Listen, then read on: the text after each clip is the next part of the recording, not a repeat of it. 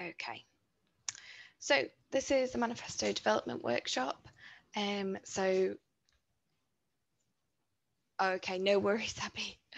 Um, so this is the manifesto development workshop. Um, so what we're going to go through today is what is a manifesto, the key principles, your policies, um, framing your ideas and the formats you can put your manifesto into, and some overall do's and don'ts. So, what is a manifesto? As a summary, a manifesto is what you were you're promising to achieve if you're elected for the role. And this is what the student body will base their vote on. So it's what you're interested in um, and what you're passionate about and what you want to do in the role. So this comes down to three areas. So one is what you want to change. These are your policies, what you want to see in the role being done, how you want to improve university life for students in your particular remits. Secondly, why do you want to do it? So this has really got to shine through in your manifesto. Why do you why are you passionate about these issues? So make sure to include that. It's not all about what you want to change, it's all about why you want to do it. And also why are you the right person for the role? So this can doesn't mean you have to reel off loads of experience that's relevant. You don't have to have specific experience, but what skills do you have? Um, and again, shining, making that passion shine through of why you want to do it is a reason why you're the right person. If you are super passionate about these issues, then people are going to believe that you're the person for the role. So that is why you want to change what, what you want to change, why you want to do it, and why you're the right person.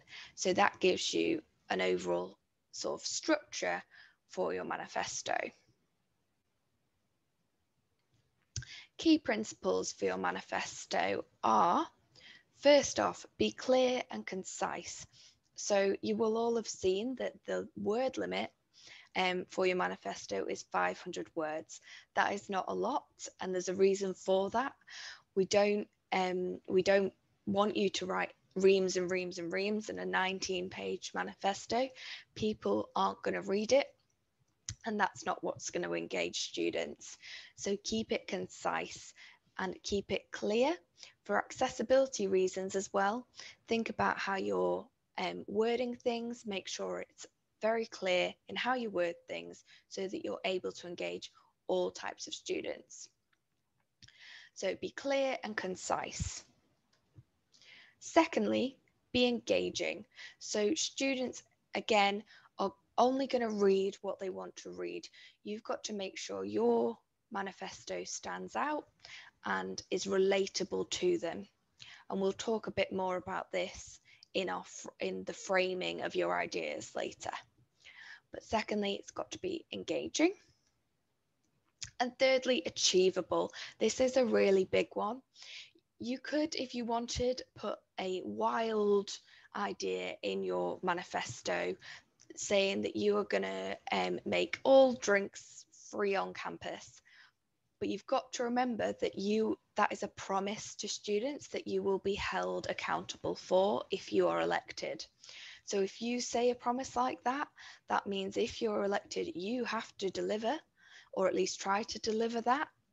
Um, otherwise, you will come under scrutiny from the students because they have voted for you on that basis.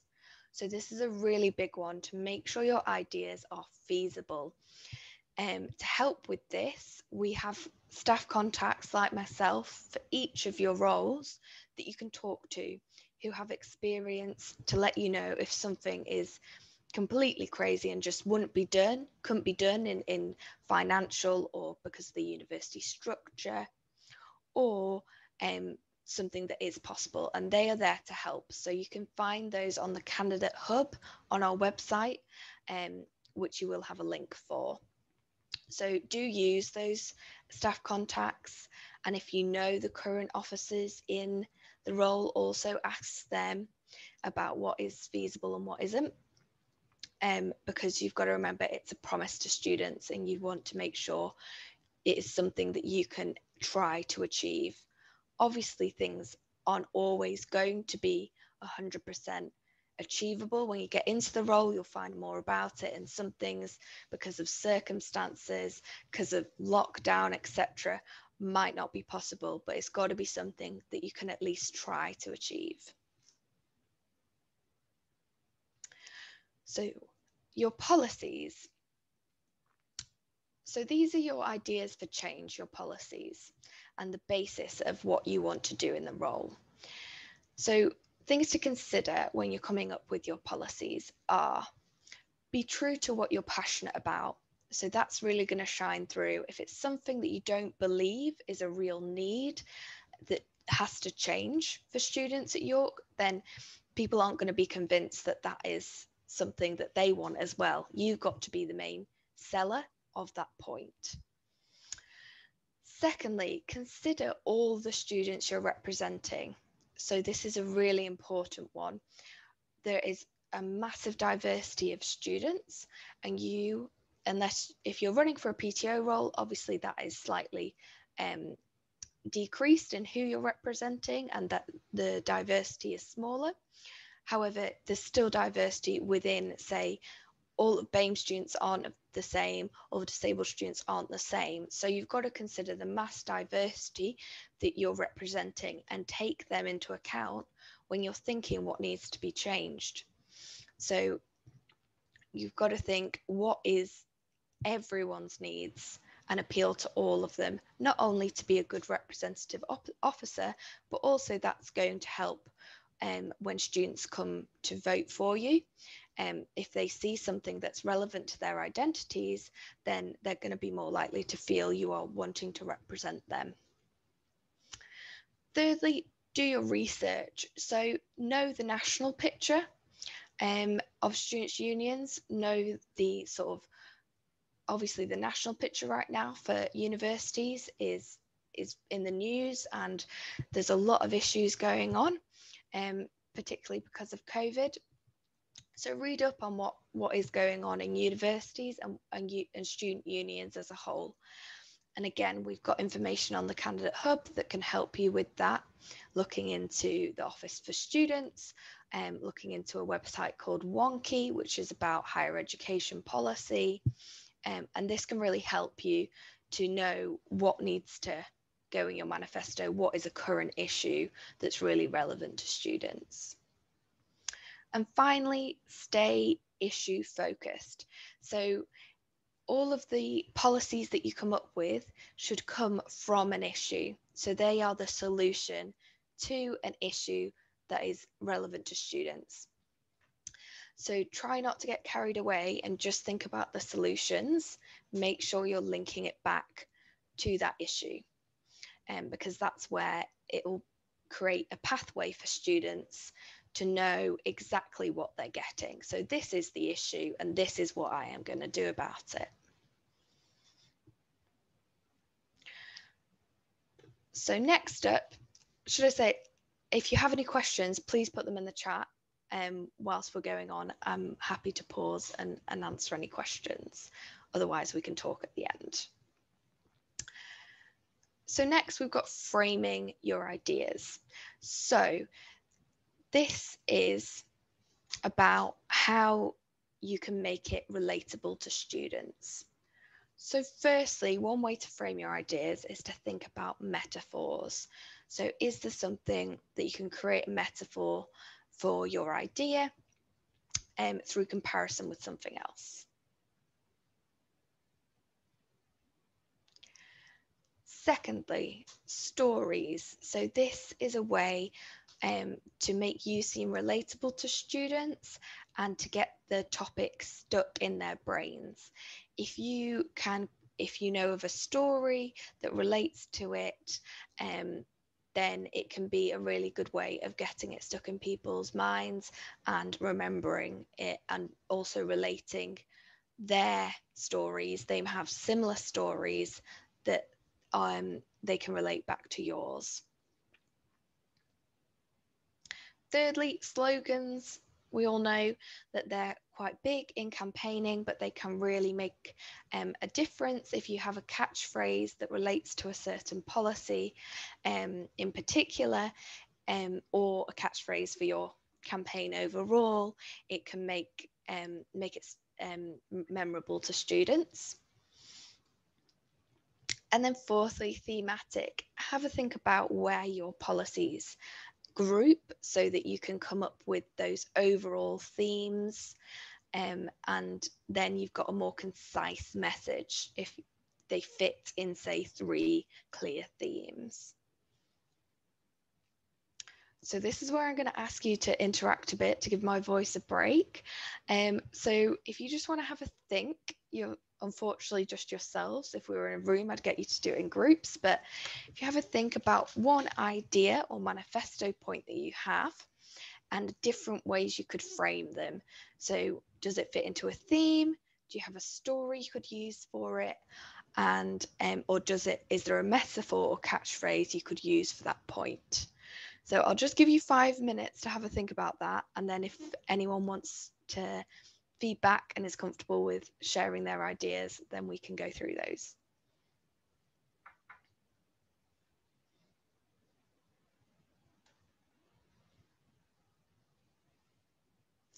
Yeah, yeah, COVID it would be a theme, um, Kath. So so that can kind of link link into it.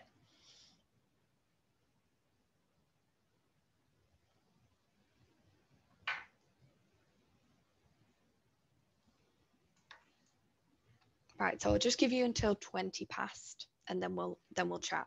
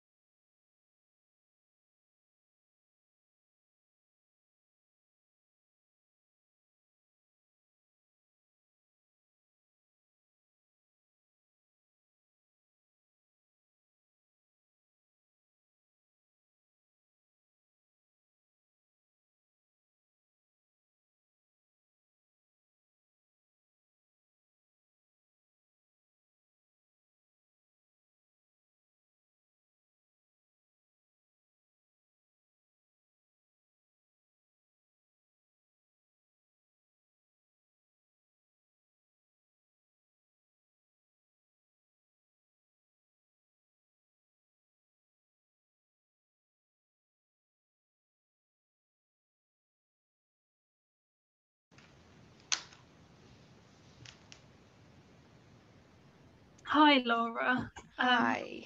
Um, my question was um, you were talking the issues and how it's the solutions, but I'm wondering, I'm thinking there's a fine line between raising the issues, but also just kind of saying that everything that is about the uni at the moment. So I if you have any advice for kind of striking that balance between doing like you're kind of neglecting all of the work of your predecessor. You were really breaking up there, Frankie, but am I right in saying you're thinking, how do we um, not just talk about loads and loads of issues and not think, oh, there's already been great stuff done? Is that what you were getting at there? How do we strike that balance? Yes. Okay. So, yeah, absolutely. I'm not saying your manifesto has to be full of, um, full of issues in that everything is rubbish at the moment. I mean, more an issue could be, um, this has been worked on. I want to continue it because this is still an issue. So, um, you can reflect on the fact there's been great progress by your predecessors. Um, but if something hasn't been solved yet, then I guess there is still an issue there. But there's a way to put that in a positive sense by saying, This has already been done. I want to continue this work because I believe we still have somewhere to go with this issue. Does that make sense?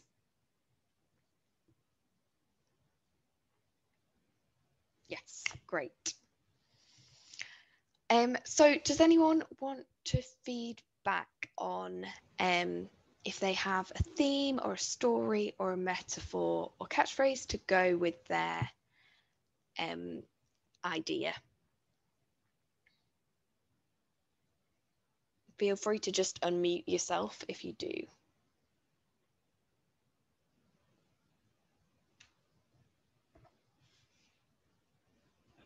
Yes, Frankie, go ahead. Well, hopefully your Wi-Fi works for it. Yeah, we'll um I'll try the Wi-Fi, but if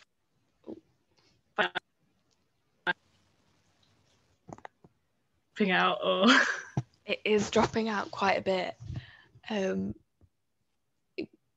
give it, if you give it a go, and then um, I'll let you know what I can hear. If not, put it in the chat. okay. Um, well, one point I wanted to raise was around first aid for sports. Um, it's been an issue for a long and the theme it would fit with is that I want to provide more opportunities and courses and qualifications for um, students. So refereeing, providing trained first aiders on sort of match days. Um, I have some uh, from personal experience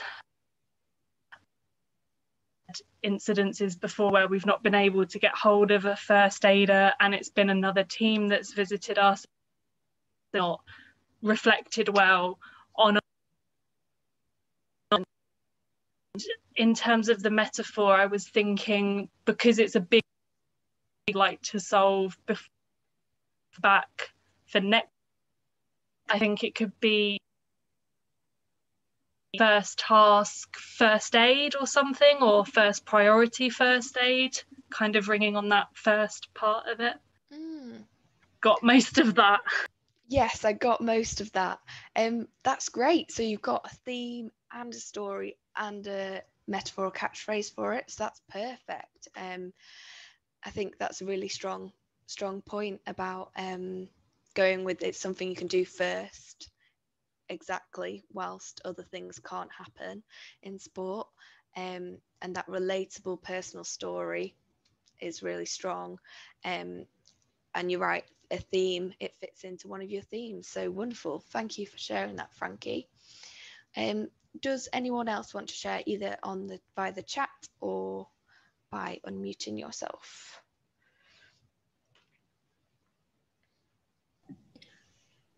Um, I could. Yes, go ahead. So my one of my manifesto points is um, holding different workshops and events to teach the entire student population about different cultures. Um, this theme goes into racism, and educating students to combat racism. And a story I have is uh, the COVID pandemic. Well, 2020 was quite a terminus year for a lot of the BAME community. I had a lot of microaggressions fly towards me um, from strangers and people I knew. Knew the uh, people trying to argue against the Black Lives Matter movement, etc.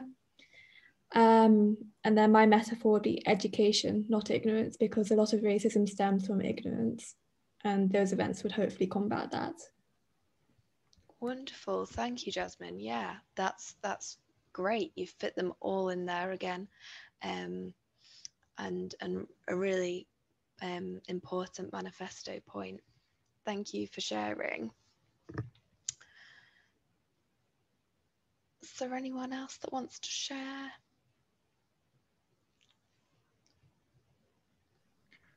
Hey. Hi, Rokas. Um, yeah, so I'm thinking of maybe playing around um, with the idea of engaging a dialogue and engaging in conversation um, and talking with students to improve their current services. Um, so in terms of um, mental health provision and open door services, uh, for example, um, there's kind of lack of um, space for feedback. Um, yeah, so I guess that's kind of a theme I want to play around um, you know, uh, having the space for dialogue and conversation. Um, because yes, students have have things to say and they know best what mm-hmm. what in many at least in some cases we know we know best you know how how things could be improved mm-hmm. so yeah that's a great theme yeah. Yeah students are expert of their own experience. Um, and yeah using a theme of sort of dialogue obviously there's other manifesto sort of points you can put in with that in terms of dialogue with yourself um, as an officer um, as well as dialogue with the uni. So i think that's a good theme yeah. Thank you for sharing. Um, so we'll move on now um, but feel free to anyone to chat um, as we go on. So next, um, we're going to talk about the formats to convey your manifesto. So firstly, your main point of where you're going to put your manifesto, where students are going to see it, is on your nomination form. So this needs to be 500 words and it needs to start with three short summary bullet points. So if you haven't already put in those bullet points, please make sure you do. That's what's going to go to student media um, and they will they'll include that in Vision's um, website. So make sure you've got those three summary bullet points at the top and that also helps to be clear and concise. Also, you're going to talk about your manifesto, of course, on social media, especially a lot this year. Um, and we won't touch on that today because that's that's will be touched on more in our workshop on Thursday about personal brand. And also, we're going to have a social media guide um, for you to look at. But we're just going to touch on today about digital po- digital posters um, obviously digital posters this year, not physical ones, but how to best present your manifesto ideas on a poster. So three top tips for making your manifesto posters are be bold, be creative, and keep it simple. Also, a really big one is be accessible with them as well. And we're not going to go into full how to make them accessible today, but we do have guides on the Candidate Hub about how to design accessibility and also how to make your social media posts, etc., accessible. So do make sure you look at that. So for being bold, um, this is a really good example of a poster that keeps things bold and brief. So immediately your eye is drawn to the name and the role they're running for, and then their hashtag at the bottom. So you've got to think what do students want to get out of this poster? They want to know who is doing it and the main points that they're running on. So you've got three clear points that you can see that are their manifesto summary. Um, so this is a really good example of being bold and being brief. However, they are missing one point, which is the call to action. So people have read your poster, they think it looks great, they think you're a really great candidate, they want to vote for you, but there's nothing on there to tell them how to vote, where to vote, when to vote. So make sure you add to your posters and uh, campaigning content content in general um, the call to action, which is voting opening on the 5th of March, and the voting link, which is um, which I can share with you, but it will just be the same of all of our other um, links, but slash vote. So then where you nominated, it was slash nominate, and it will be slash vote for voting. So make sure you get that on there. Um, because students want to know once they've read your amazing posters what they can do next. So second, be creative. So this is a wonderful example of being creative. Um, your eye is immediately drawn to the graphics and um, they've got sort of an innovative, innovative way of um, presenting. Um, so have a think about colours and where how you split up that manifesto. Again, they've split it up into four areas and it's engaging to read. Then finally, keep it simple. So, which one of these do you think um, are you more likely to read? Either respond in the chat or unmute yourself. What do we think to these two posters? I'd say the first. I'm not sure if I'm drawn to it because it's more aesthetically my type, but um, it just looks a bit more con. It just looks a bit more concise, organized. Yeah, yeah. And Frankie is agreeing. The one, the one on the left, the spark change one. What do other people think? Why, why are we drawn to that one? less cluttered, packed together on the left. Yes, exactly, Abby. Um, so you immediately want to read. I would agree, Jasmine, that it's also pretty colours, but you uh, can see the three main um, points they've got. They're highlighted, and it's just set out in a clear, simple way compared to the Tom for Community one. You've it's quite small font, and it's not got any breaks or structural headings. It's all just one big block. Um, and there's also a, too much text as well, as Abby said, cluttered. So you've got a section on the right about him and also a section on the left. You, you can't get everything onto a poster.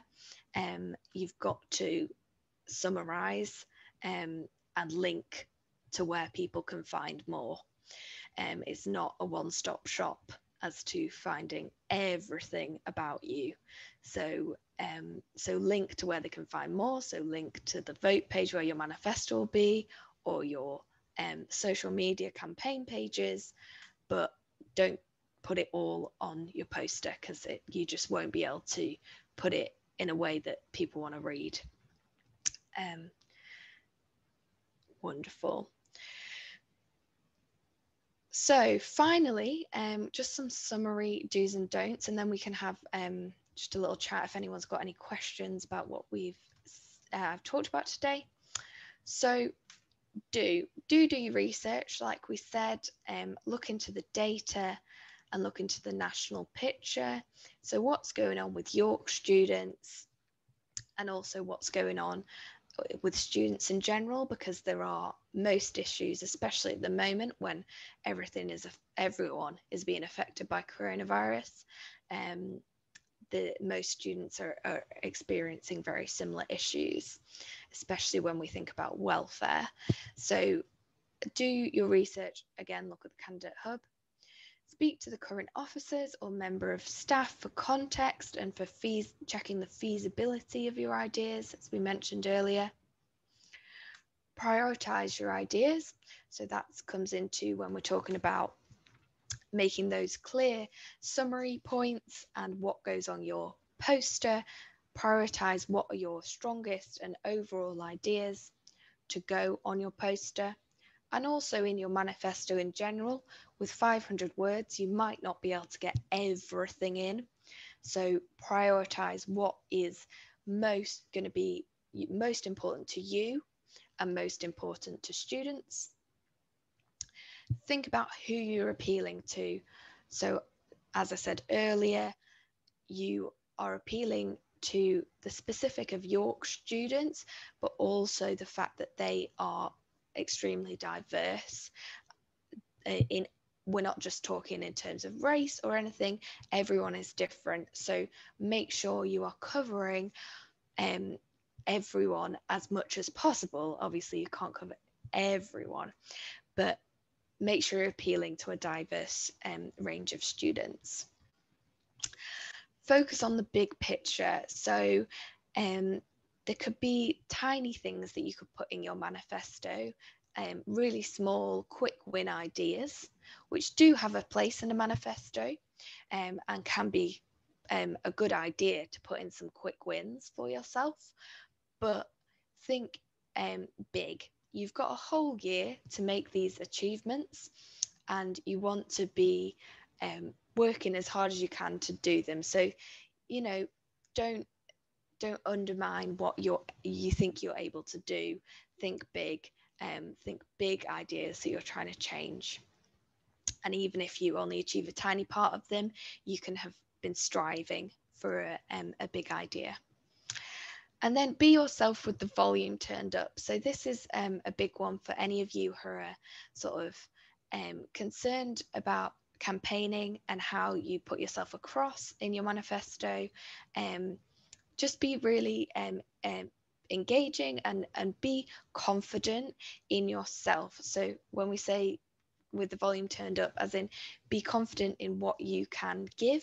So when we talked about um, earlier the area of why you are the best person to do it. Believing yourself for that. Um, you are the best person. So make sure you get that across to students. You all have a unique perspective and something to offer. So make sure that comes across. And then do not um, do not settle on one single issue. So this wouldn't be a very good manifesto if you were just on one thing. You've got, like I say, you've got whole year. Um, so focus on different areas, even if they all come under one theme. There's got to be different issues within there don't be negative about other people. So, of course, this is a big one that you should all know from um, reading the rules that there should be nothing in your manifestos about um, how someone did um, wouldn't be good. Their manifesto is rubbish, mine is great. Don't be negative about others. Don't promise things you can't deliver. So, be um, feasible, be achievable, don't write too much information or text, especially you, well, you won't be able to go over 500 words on your manifesto um, for your nomination form. But even more, don't think that there needs to be more elsewhere. Keep it to that concise 500 words and work off that. Don't go away and link to a 19 page document. Um, and again, don't forget to highlight what makes you special.